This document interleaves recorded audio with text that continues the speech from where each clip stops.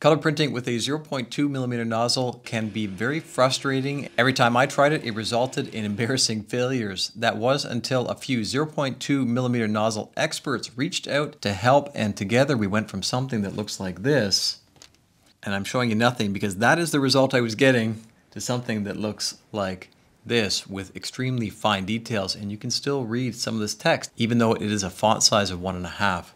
So let me show you just how easy it is so that you can do it yourself and achieve unparalleled detailed color prints on those first few critical layers. So stick around. In my previous video, I tested out a few upgrades for the Bambu X1 and P1 series printers, and even though there didn't seem to be much of a quality difference, I like how the upgrades look and how they work, and I would like to do some more long-term testing on them as well.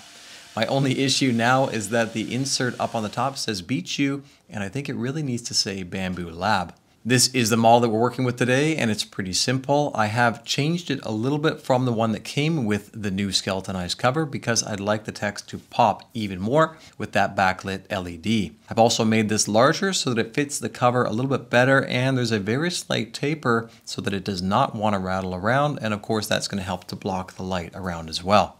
I had a 0.2 millimeter hot end on hand so it should just be a matter of swapping it in and printing the new insert that I designed.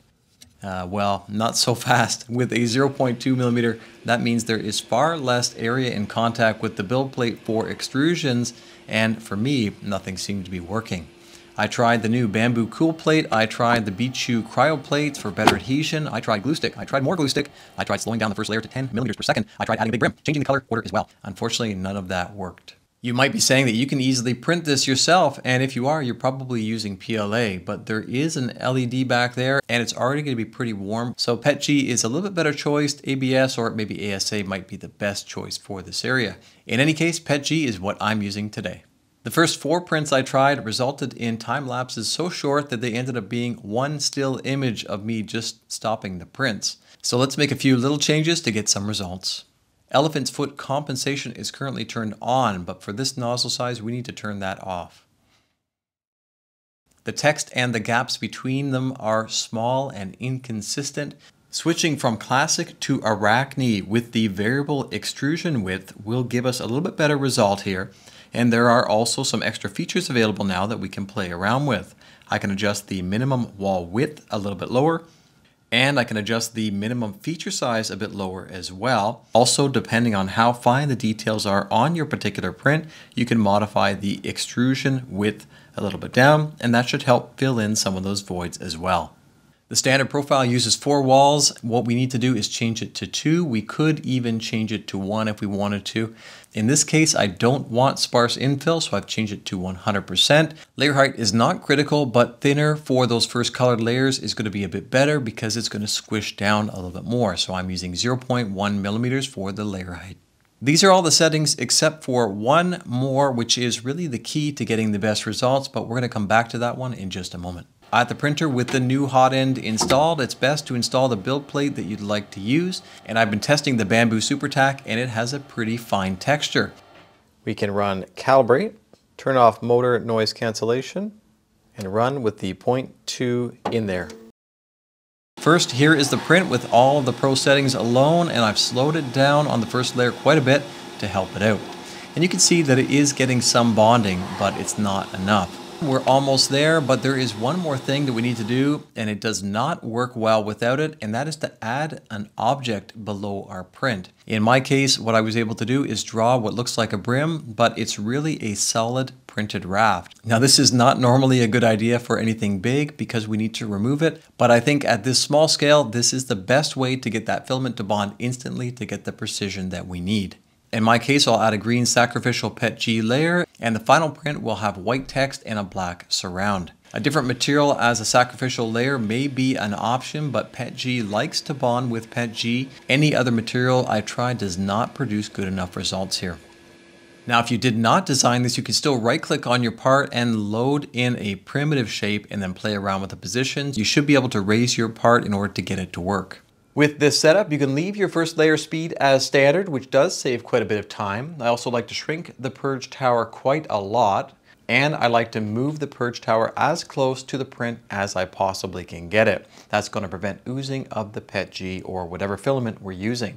For the highest quality final product, you can try ironing the first layer. That's going to give it an even better base. And for the best result, I will disable filament calibration during the print and instead do a filament calibration through the calibration tab within Bambu Studio. So that's what I've done here, and I've done it with each of the colors that I want to use.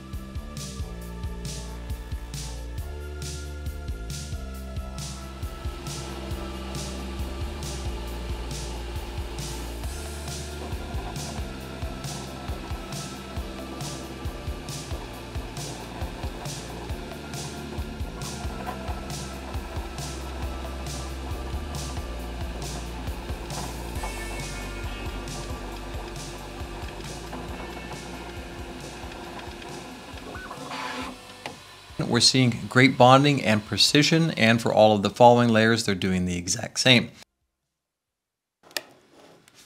Hot off of the press, these two certainly look like they turned out well, and we'll finish these off in just a second. Now I have to say, I'm not actually a fan of printing with this nozzle size. It does certainly come in handy for really high detail projects like this, but it is super slow. I, it's almost painful to even try and print with this nozzle size compared to a 0.4 or anything larger than that. So there's probably a better way to do this. I think a fiber laser would be a great option to print this in such a way that you could remove some material with a fiber laser. I don't have a fiber laser.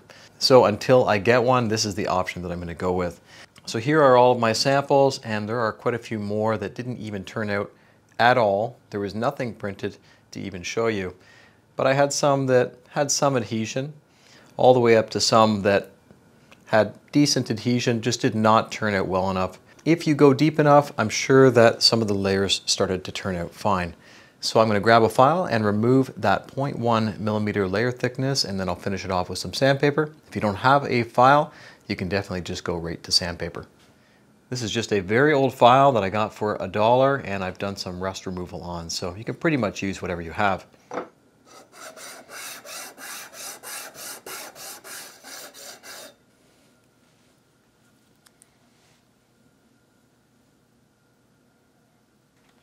This is some 600 grit sandpaper, just to remove some scratches. And why not take it to 2000 grit as well. We're already here. I can't say I have ever taken a 3D print to 2000 grit. That's more like a polish. So that little rim of green should just peel right off.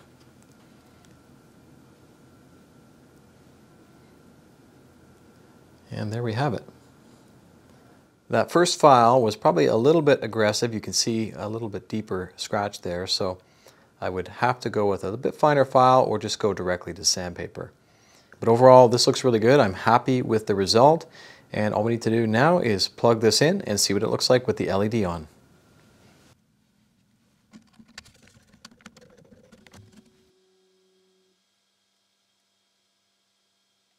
If you want to try this yourself, I've created a fine detail torture test print going from a 5 font size to a 1.5 font size with a fairly narrow font as well. And I will leave a link below for that. It comes with a profile so that you have a good starting point. I was just about ready to give up on my project and TBK Maker reached out to offer some help. His goal is to help people who are having difficulty with 3D printing. So if you need some help as well, I'll leave a link below where you can find him. And I also want to thank Dirk who has been helping me with the X1C nozzle wiper issues with PETG and with this problem as well. Hopefully this opens up some options for you like it has for me. And if you found this video helpful and you're enjoying this type of content, consider subscribing to help support this channel. I also have a short list of products that I like to use in my shop on a regular basis. Some of those links help to support this channel as well, so I can keep making content. And thank you to each of my patrons for your support and for helping to make these videos possible. I really appreciate it. Take care, and we will see you on the next one.